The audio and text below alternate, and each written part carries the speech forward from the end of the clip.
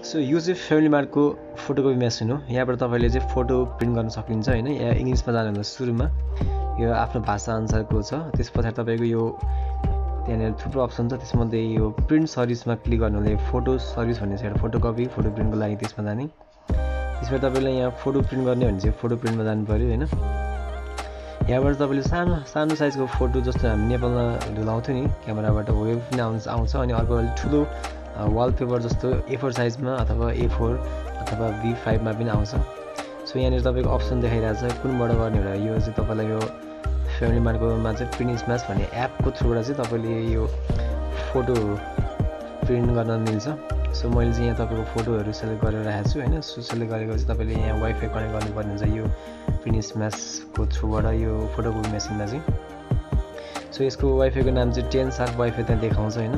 So यतापट्टि तपाईँले यो प्रिन्ट स्म्याच भन्नेको थ्रुबाट गर्ने भएपछि तपाईँको युएस मेमोरी चाहिँ अनेक अप्सन छ। सो म चाहिँ तपाईँलाई यो प्रिन्ट स्म्याच भन्ने एपको थ्रुबाट गर्दैछु। यहाँ एन्ड्रोइड र आइएस दुइटैमा छ।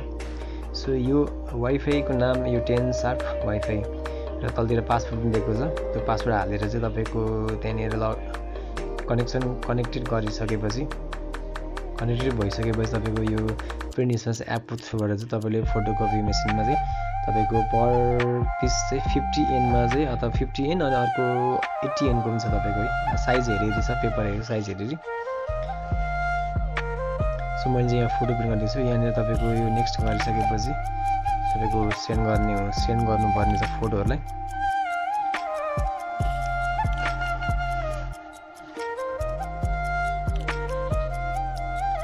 मेरो वाइफाई कनेक्सन कम्प्लिटेड भन्ने छ अनि त्यहाँबाट तपाईँको फाइल सेलेक्ट गरेर चाहिँ यसमा पठाउनु पर्ने हुन्छ है। यहाँनिर तपाईँको यो फोटो मेसिनमा यो त्यो फोटो अब फिनिस एन्ड नेक्स्ट गरे पनि हुन्छ अब अर्को फोटो अर्को इमेज सेन्ड गर्नु पऱ्यो भने चाहिँ अब नेक्स्ट गर्नु होला। अहिले चाहिँ म तपाईँको दुइटा मात्रै गरिसकेकोले फिनिस एन्ड नेक्स्टमा जाँदा जाँदैछु।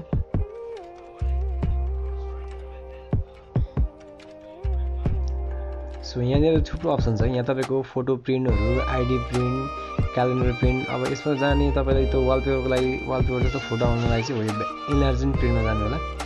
सो यहाँनिर फुल कलरमा गएर हुन्छ। यहाँनिर साइज छ अब। यतापट्टि तपाईँको B five A four B four A three size छ। कुन गर्ने त्यसमा आफ्नो मन लागेको गर्न मिल्छ। सो मैले चाहिँ तपाईँलाई यो मेरो चाहिँ ए फोर साइजको पेपरमा चाहिँ यो प्रिन्ट गर्न लागिरहेको छु। यो कलर प्रिन्ट सो यहाँ तपाईँको देखाउँछ कस्तो कस्तो खालको साइजमा भनेर देखाउँछ। त्यहाँनिर प्रिन्ट एरिया भन्ने छ डेट हाल्न मिल्ने ठाउँ पनि छ है। सो त्यो प्रिन्ट एरियामा त गऱ्यो भने चाहिँ अलिकति त्यहाँ प्रिभ्यू हेरेर हेर्न मिलिहाल्छ। सो अब तपाईँले चाहिँ यहाँ डेट न डेट हाल्न नमिल्ने सबै कुरा छ त्यो भनेको रोटेटको लागि हो। सो यहाँनिर तपाईँले आफ्नो फोटो सेलेक्ट गरेर आइसकेपछि अब तपाईँले प्रिन्ट गर्नको लागि चाहिँ अब कति हाल्ने हो पैसा होइन? त्यो तपाईँको यो डेटको लागि हो। अब नो गरेपछि डेट आउँदैन। डेट गऱ्यो भने चाहिँ आजको प्रिन्ट गरेको डेट आउँछ।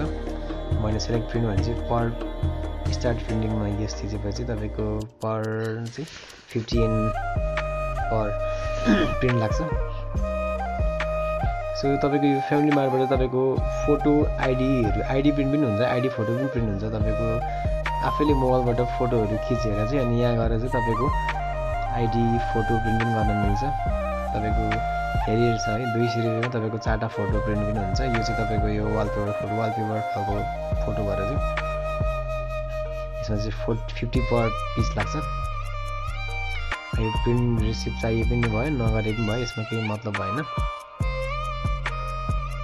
सो यहाँ मेरो चाहिँ फोटो आइसकेको छ। यो त यो चाहिँ मैले भर्खर प्रिन्ट गरेको फोटो है सो यदि यस्तै फोटो गर्नु मन लाग्यो भने चाहिँ यो भिडियो हेर्नु होला है। Thank you